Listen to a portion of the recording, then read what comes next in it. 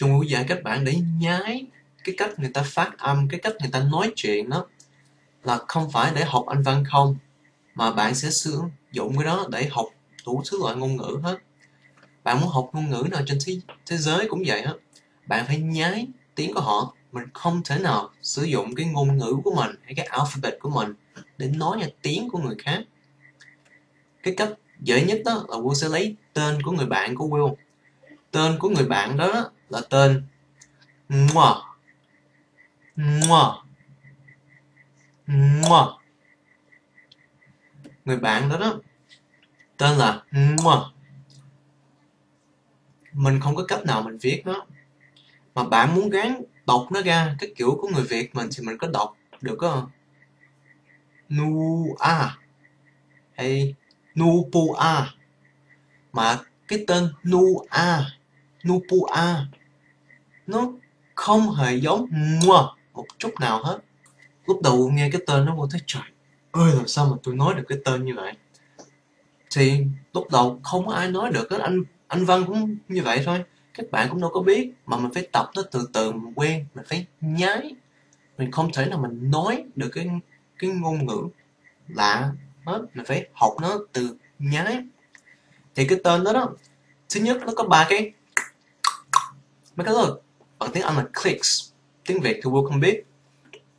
Cái đầu tiên đó là cái kia là cái cái cuối là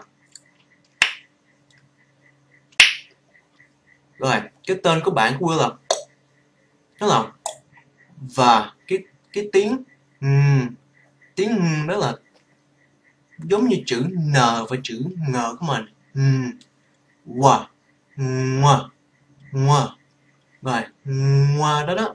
Bạn tập luôn, tập theo Will đó. Mình nói ngoa đó, và mình rồi mình grab hai cái đó với nhau.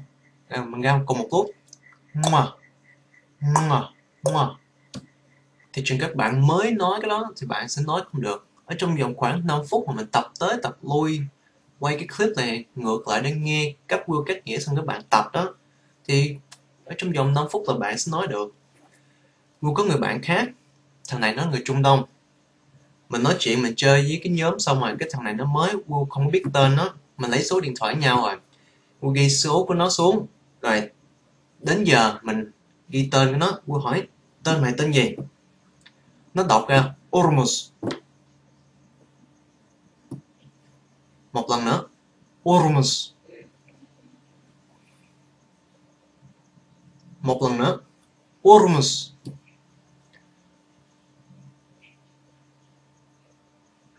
Tao viết cái đó bằng O hay tao viết cái đó bằng U đây thì đó, nhiều lúc Bùi cứ nói hoài, mình không có sử dụng cái alphabet của mình để viết hay nói ra cái tiếng của họ. Tên của người bạn nó lúc đầu cứ nghe Ormus không nghe được chữ nào luôn. Thì tại vì nó không phải là chữ nào của tiếng Anh hay là chữ nào của tiếng Việt, mình phải nghe nó tới lui hoài, mình sẽ quen. Sau đó mình mới nhái được mà giờ mình quay lại cái tên của người bạn phi châu đó, tên đó là Ngoa mình không có nói cái đó được. Thứ nhất, mình không có quen nghe được cái tiếng của họ. Thứ nhì, mấy cái cơ đó đó ở trong cái miệng của mình á, mình chưa bao giờ sử dụng nó lần nào hết. Cái cái tiếng việt mình không có tiếng á châu, cũng không có tiếng âu châu, cũng không có trung đông, thì cũng không có luôn. Thì trường mình nghe nó vậy, mình không biết cách sử dụng, thì nó sẽ rất là khó. Mấy cái cơ ở trong cái miệng của mình và cái cổ của mình nó y hệt như mấy cái cơ trong cái người của mình thôi. Như bạn cầm cái viết lên, bạn quen viết bằng tay phải hay tay trái đó, cho là tay phải đi. Ai cũng quen viết vậy hết, mà bây giờ đó, mình phải viết bằng tay trái. Học cái ngôn ngữ mới cũng như vậy. Tự nhiên mình cầm cái cây viết nó mình không biết mình cầm cách sao nữa, nó nó gớt ra tùm lum hết là tại vì mấy cái cơ ở trong cái tay này nó chưa quen cầm cây viết như cái tay này. Mấy cái cơ trong miệng của mình quen nói cái giọng tiếng Việt rồi quen nói ra mấy cái chữ tiếng Việt thì mình dễ nói tiếng Việt hơn. À, giờ mình phải học để sử dụng mấy cái cơ khác để phát ra tiếng Anh. Thì như mình để cái cây viết này qua tay này lúc đầu mình thấy nó khó thực sự nó không có khó. Thứ nhất bạn cầm cây viết gắn coi cái cách bạn cầm bên đây. Coi nó. Nháy nó qua bên tay này. Chuyển nó y hệt như vậy. Cầm nó. Lúc đầu không quen mà cứ cầm nó như vậy. Đừng có chuyển ngược lại. Chuyển ngược lại là giống như mình nói tiếng Anh mà mình sử dụng cái ngôn ngữ tiếng Việt. Mình trở lại là sai cái alphabet tiếng Việt. Đừng có như vậy.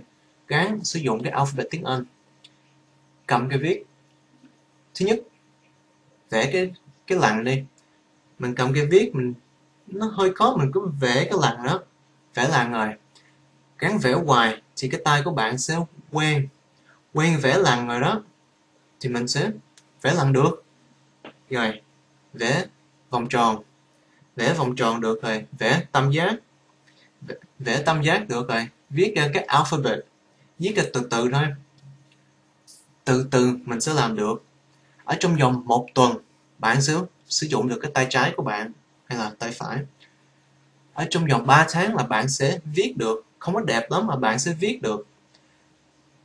Lúc mà Will ở trong lớp 9 nhờ Will viết như vậy đó. Lúc mà lên tới lớp 12 đó. Lúc mà thi bài, Will viết bài mấy trang này, mỏi cái tay gần chết. May mắn Will chuyển cái tay qua. Cái tay này nó viết dần. Trong lúc Will viết thì nó thoải mái cho cái tay này. Will viết. Will không có mất thời gian. Học anh văn cũng vậy thôi lúc đầu bạn không có quen sử dụng mấy cái cơ đó đó. Cũng giống như tay của bạn chưa có quen. Cầm cái cây viết và viết. Thì bạn cứ tập hoài ở trong vòng thấy một tháng là vừa. Một đến ba tháng là bạn sẽ nhái được mấy cái tiếng của anh văn là bạn sẽ nói rõ hơn nhiều. Và trong lúc thời gian mà bạn đang học anh văn như vậy đó, thì bạn cứ cầm lên cây viết luôn, cứ tập cái tay kia, coi coi cái miệng của bạn phát triển nhanh hơn hay là cái tay của bạn phát triển nhanh hơn? Uy Yến xin các bạn tập cho 3 tháng thôi. 3 tháng đó đó, thì thứ nhất, bạn sẽ viết được bằng hai tay. Viết được hai tay và cái cổ và miệng của bạn, nó dẻo hơn như vậy đó, thì bạn sẽ phát âm ra tiếng Anh rõ hơn, rất là nhiều so với các bạn trong lớp của bạn. Và phát âm ra tiếng Anh rõ rồi đó, bạn có muốn học ở cái ngôn ngữ nào khác đó, bạn cũng quen biết cách để chỉnh cái miệng của bạn thì bạn sẽ học cái ngôn ngữ khác cũng rất là nhanh nữa. Thì chúc các bạn may mắn và chịu khó. Có cái gì thì cứ liên lạc Will